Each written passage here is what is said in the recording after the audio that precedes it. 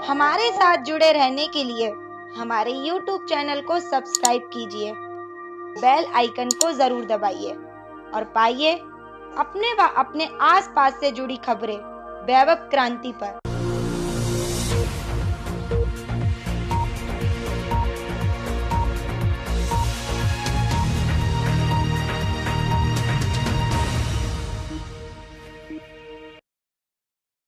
रात आए तेज आंधी तूफ़ान में कमेटी चौक के समीप बिजली का तार टूटकर गिर गया, जिसकी चपेट में आने से बाइक सवार एक 50 वर्षीय कर्मचारी की मौके पर ही मौत हो गई।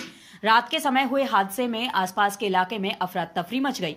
मृतक की पहचान कैलाश नगर निवासी 50 वर्षीय सुखराम के रूप में हुई। शहर थाना पुलिस ने मामले में एक सौ चौहत्तर की कार्यवाही की है। तो ये सुखाम जो गाँव का भिवाड़ी कंपनी में किसी उसमें जॉब करता था।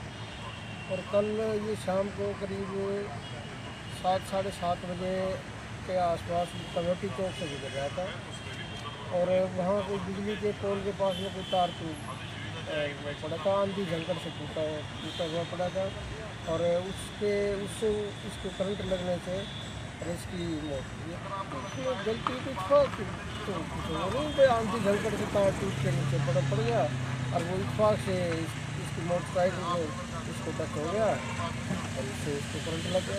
क्या कार्रवाई की गई मामले हमने जो मुनासिब कार्रवाई की थी उससे कार्रवाई वहीं परिजनों ने बिजली विभाग के अधिकारियों पर लापरवाही का आरोप लगाते हुए पुलिस प्रशासन से बिजली विभाग के अधिकारियों के खिलाफ कड़ी कार्यवाही की मांग की है।